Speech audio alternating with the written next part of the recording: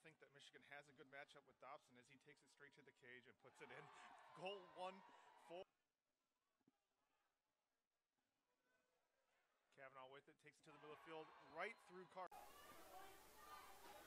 Dobson with it now, gets his hands free, and that's just big boy ball right there. Matchup. Still on a shorty with Cosgrove. Gets shook. Kavanagh inside. Slide was late, didn't take the body, and that's Kavanagh. Swings it behind. Back out to Dobson. Dobson on a shorty, kind of unfair. Skips over to Kavanagh. He winds up, high to low bouncer, and it goes. And make one last run to Cage. Great look there, and it goes in. Kavanagh. Great behind the back pass to Taylor.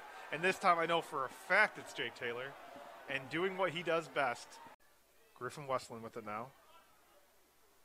Kavanagh to the crease, finds Taylor. And if Taylor's on the crease, it's pretty much a goal. 8 to 2 Notre Dame, Virginia. So games with a lot of implications. And right there we see Jalen Seymour, to be fair.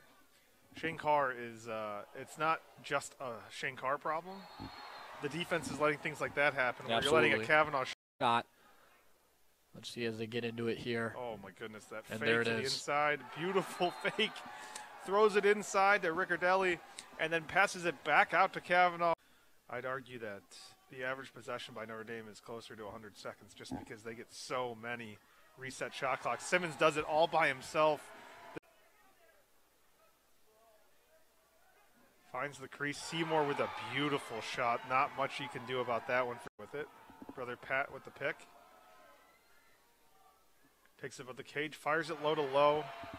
And uh, that's one, I think, Nick, that we agree from that distance, Shane Carr. Do you lock up everybody and use that extra guy as the slide? I say yes. And they still are able to find Pat with it. Has all the time he needs, puts it behind the back and sneaks it in. Put a little English on that one. 40 left on the shot clock. Gray fires, scores.